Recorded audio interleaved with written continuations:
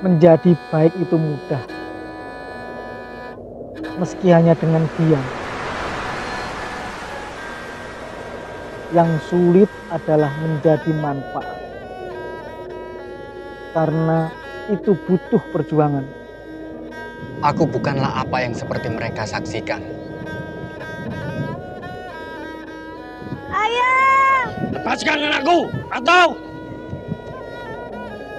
Kamu hanya punya satu cara untuk menebus semua itu.